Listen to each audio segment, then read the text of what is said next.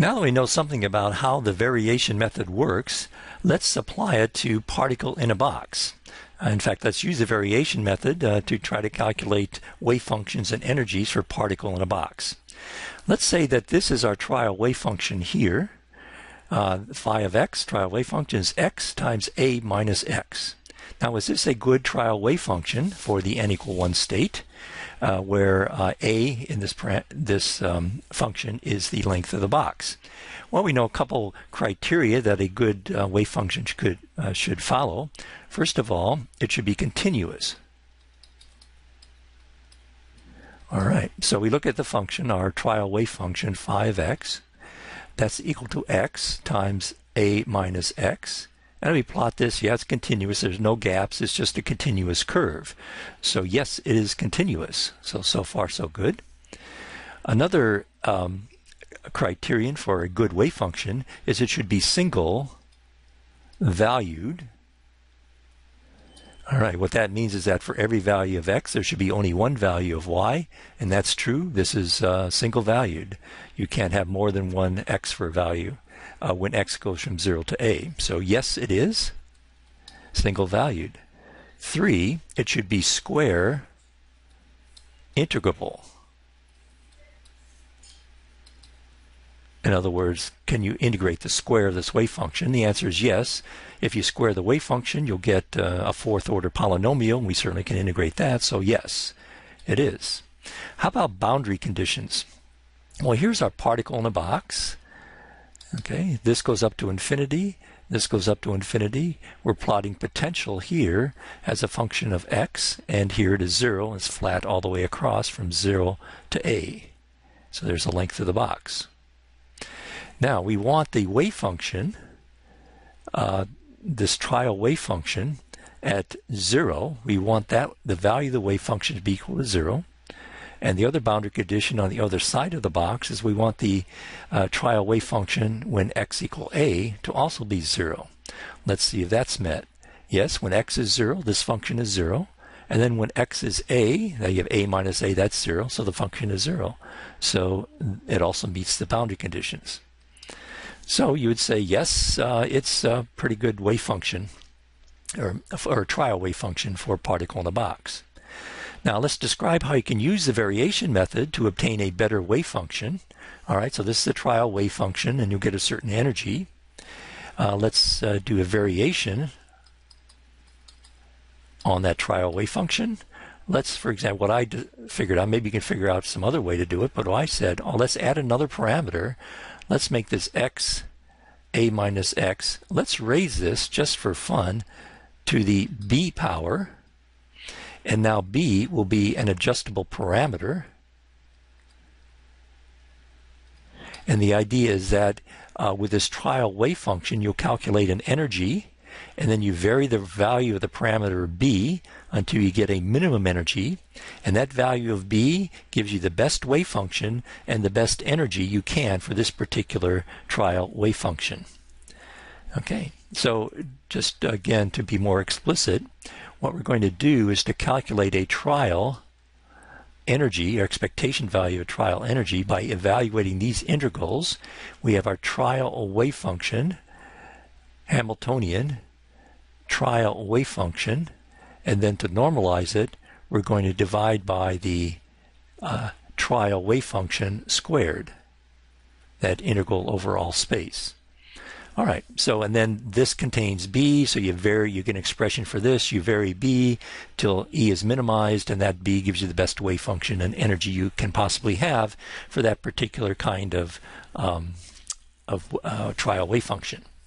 All right. So let's actually go ahead. Uh, so the rest of this lecture is all uh, calculations, algebraic, and also Excel numerical calculations. Um, so it's not really uh, tangential to this. We've actually answered uh, all these questions in this slide. But if you're interested in how uh, you go about doing this, follow along. All right, let's evaluate these two integrals. Uh, let's evaluate phi h phi and remember we said phi, our trial wave function, is a function of x, is just x times a minus x. And our Hamiltonian for particle in a box is minus h bar squared over 2m, second derivative with respect to x. Just kinetic energy in particle in a box, the potential is zero.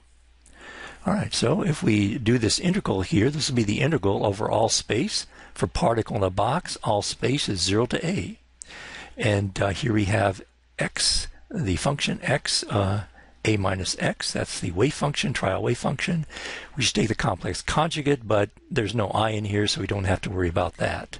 We have the Hamiltonian minus uh, h bar squared over 2m, second derivative with respect to x squared. And then we have the wave function back again, x times a minus x. This is integrated over x. All right, so let's uh, just multiply these out. 0 to a. This would be ax minus x squared.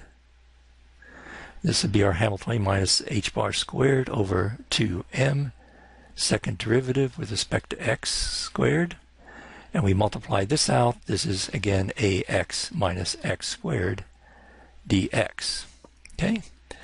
Well, uh, let's uh, go ahead. Let's pull the h bar squared over 2m, there minus h bar squared over 2m outside the integral sign. And then we just have the integral of ax minus x squared. All right, let's take the second derivative of here. Take the first derivative, that's a minus 2x take the second derivative, that a is a constant goes away, so the second derivative is just minus 2. Now that's convenient, dx. And uh, let's go to the next page here and rewrite that. So we have minus h bar squared over 2m, and we have the integral.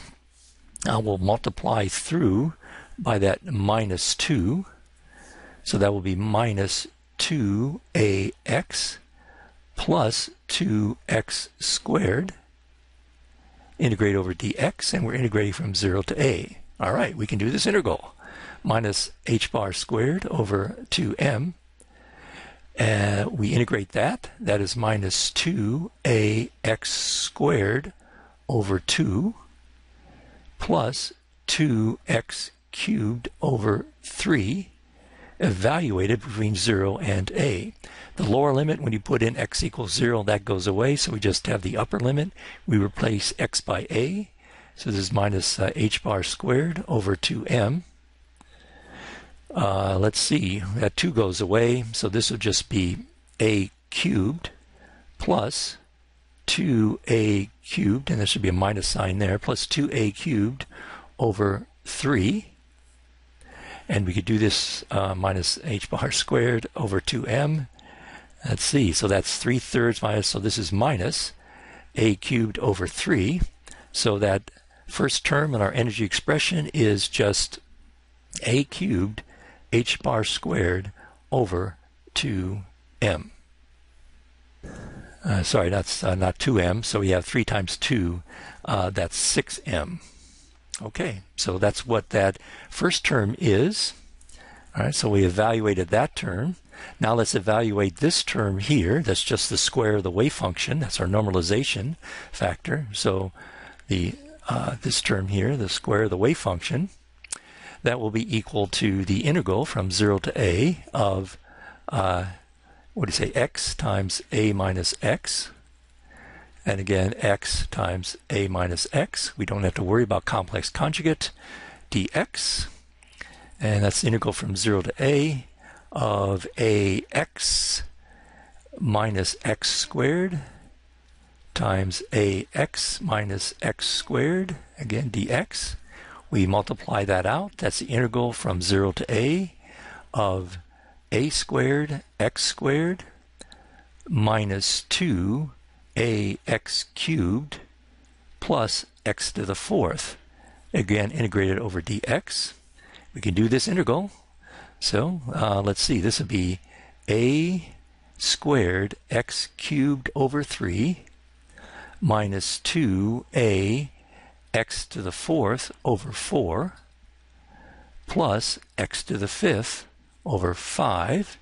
Note that can simple, simplify. Uh, we evaluate this from 0 to a. Huh, 2, 3, 4. two, three, five. Hmm, interesting. All right, and uh, so let's uh, again, if we put the lower limit here, that'll all go away. So it's just the upper limit. We replace x by a. This is a to the fifth over three minus um, a to the fifth over two plus a to the fifth over five and let's see, it looks like the common denominator here is uh, 30. So this would be 10 a to the fifth over 30 minus 15 a to the fifth over 30 plus 6 a to the fifth over 30 and this comes out to be just a to the fifth over 30 okay so now we have our uh, trial energy. Remember, that was uh, this integral up here divided by this integral. And that integral was the top integral, the numerator was, I forgot what it was, a cubed h bar squared over 6m, h bar squared over 6m. And our denominator we just saw was a to the fifth over 30. And we could simplify this, uh, looks like, um, let's see, let me actually rewrite this as uh, 10 h bar squared over 2ma squared. All right, our true wave function, or our true energy for the ground state of the high, uh, particle in the box was remember pi squared h bar squared over 2ma squared. So we contrast with that trial wave function what we get with uh, what we would expect here in uh, this wave function. All right, well, the only difference here is this is a 10 and that's a pi squared. Uh, the other things, h bar squared to ma squared, are the same. So really, it's a comparison of 10 and pi squared. If you take pi squared, uh, what you get is uh, 9.87. So instead of 10 for the trial, the true should be 9.87. As we expect from the variation theorem, any trial wave function will give us an energy larger than the true wave function. Indeed, this is 10, this is 9.87, slightly larger, but it wasn't too bad. All right, well, that's a lot of, you know, pencil pushing and so on. Uh, there's numerical ways to do this, and I um, Excel can do just about anything, make a cup of coffee or whatever. So uh, I don't know what this means. So let's uh, go ahead and use Excel um, to uh, do the calculate, do numerically what we just did by algebraic methods. Okay, so what I've done here in Excel is to program in this function psi of x, and that is this red curve here and then uh, I have the exact solution to the particle in a box that we did earlier in the course. And what I want to tell Excel to do is to make this uh, approximate solution be as close as possible to the exact solution. And what I'm plotting here is actually not the wave function, but the wave function squared. I should fix that. I'll try to fix that before I post this on uh, Blackboard. All right, so this is the wave function squared. And what I want to do is to adjust this uh, approximate till it uh, most uh, as close as possible follow the exact solution for the probability density, the wave function squared. The way I've done that is to add this term c. And maybe you recognize c here is just a normalization constant. So what I'm going to do is to adjust my the value of a normalization constant to make the approximate be equal to the exact. So let's just do that. I'm going to lower it from 0.02 to say 0.01. And see here the uh, approximate wave function went down. I'm going to make it up a little. I'm going to raise it a little bit, 0.015, make it a little bit bigger. All right, so went up a little bit and so on. So what I want tell Excel to do is to vary that normalization constant c so that the approximate wave function or the square of the wave function is as close as possible to the exact wave function.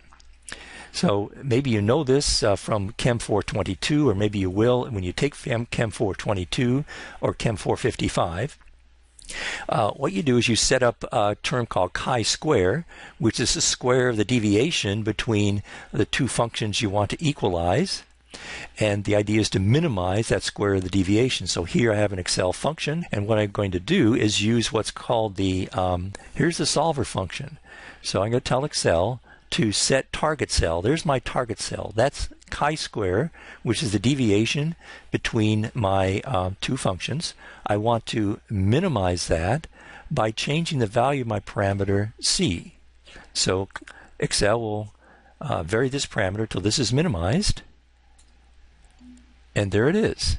Okay, so there's the best value of my parameter.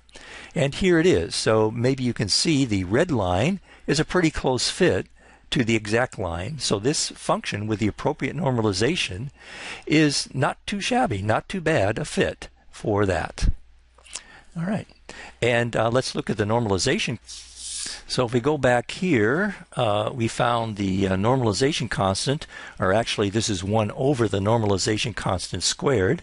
This is equal to 1 over c squared, is a to the fifth over 30.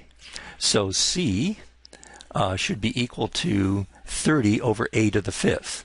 And what do we have here? Here the box, the a, the length of the box is 10. So our normalization constant, if we go by um, the, uh, let's actually do it here. So for uh, for a is equal to 10, the normalization constant is the square root of 30 over 10 to uh, raised to the fifth. Okay, so what we're doing is c is the square root of 30 over 10, a, a to the fifth, and you put in those numbers, you get 0.01732. So that's the normalization constant we got by doing all these integrals here. What's the normalization constant we got by using Excel? Oh, look, 0.01752. Well, not too bad. 3252. And in fact, we can adjust the solver so that we get even a better fit.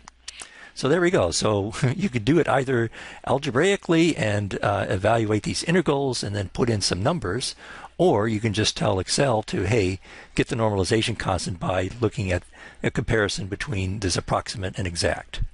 Now this becomes useful, more useful, this numerical way of approaching things becomes more useful when we use that modified. So now we're going to use the what we suggested. Remember we suggested for a modified modified trial wave function. We said, all right, let's take x times a minus x and raise this to some power b. And then you vary b to get this. All right, well, uh, that's going to be a challenge because you're going to take derivatives and you get exponents, and it's really a challenge. And I started doing that, and it was just, ah, I don't want to do this. I want to do it numerically. So what I did was, here is the, um, uh, yes, here is the uh, function now. is just like this one, except that we're raising x times a to the mi- a minus x to the b power. Okay, so uh, what does that look like? Now let's bring this to the front. All right, so uh, here's the exact, and here I plotted this new uh, improved wave function, new improved wave function with this adjustable parameter b, and also I have the normalization constant still c. I'm going to tell Excel uh, I want you to minimize this by adjusting the normalization factor and this factor b. All right, Excel, do that. And okay, we'll just use the solver function we want uh, Excel to minimize the deviation between these two curves. So that minimized by changing these two parameters, these two parameters. So we're going to change C and B, those two parameters, and say, okay, solve. There it is. Okay, ooh, that's a pretty good fit. So here we have uh, C that exponent, or sorry, B that exponent is 1.184. So if you take this 1.184 instead of raising it to the 1 power, then you get, oh, uh, well, that's a pretty good fit and uh, better than this fit here. So we've improved the fit by adding that adjustable parameter B. We got a value for that, and there it is. Okay, so that's uh, use for Excel, um, uh, where you don't feel like you, these doing these calculations numerically when you don't feel like doing them uh, algebraically. All right, so that's it for this uh, video lecture.